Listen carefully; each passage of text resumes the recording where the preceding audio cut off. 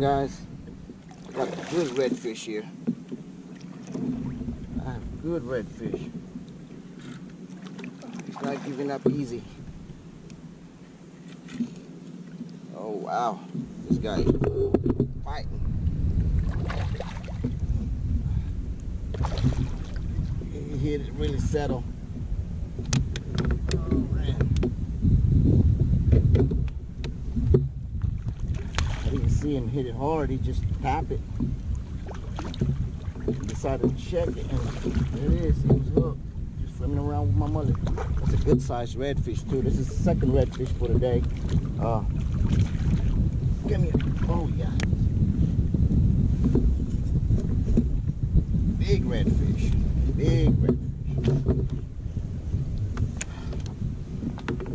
I'm sure it's a slot, but it's a big big slot redfish.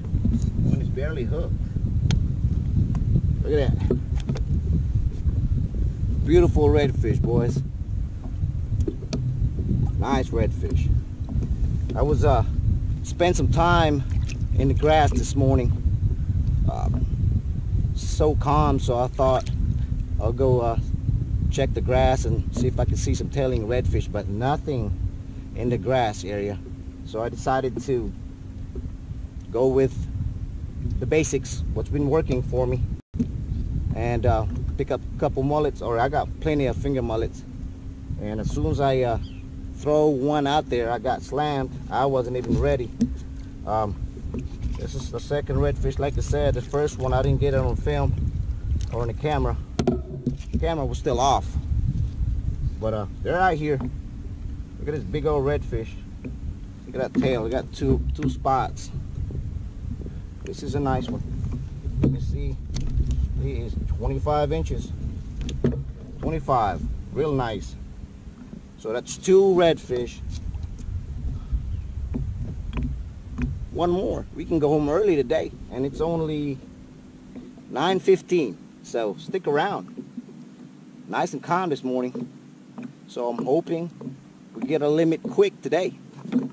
Welcome back, boys. Another bite, guys. Oh, fish on. I hope it's the redfish that we're looking for. All we need is one more. And we get to go home before 10 p.m. I think it is too. Oh, it's mad now. They're eating that donkey mullet. Big mullet. Just gonna spin around. It's gonna spin me around facing the sun, which is it's gonna be hard to see on camera. Hopefully, turn around this way. Come on. Oh man, this guy's strong. Oh yeah, he's gonna do that. Oh yeah, there you go. There you go. Go this way. Oh, it's a redfish. No, not that way. Nope, not the ankle rope either. Oh yeah, it's a keeper. Another keeper. Come here. Not very big. That's the, last, the uh, second one, but I think it's a slot redfish. It's a slot redfish.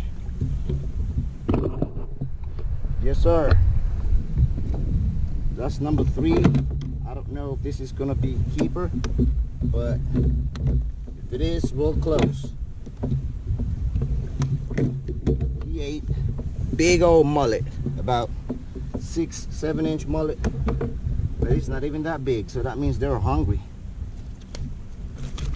Yep, it's a little small, a little white too. Let me see how long this thing is. Oh, let me see. He's right at 20. Yep, 20 and a half. Well, that's three redfish real quick. And he inhaled a big old mullet. Wow. That mullet was probably barely barely fit in his mouth. Give him that hook. So that's three redfish, guys, and it's only 9.30. So 15 minutes later for the second one. Got my my, my limit.